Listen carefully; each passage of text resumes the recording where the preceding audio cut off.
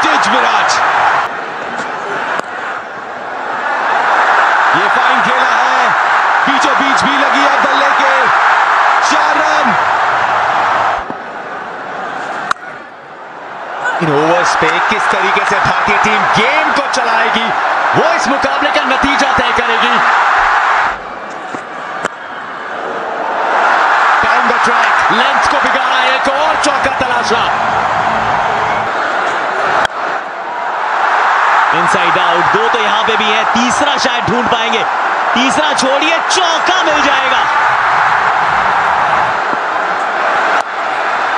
Shot है shot है, कड़क है। ओवर का आगाज़ ओवर का अंजाम, चौके के साथ बीच में एक चौका था सत्रह ओवर से है। ये गजब गजब।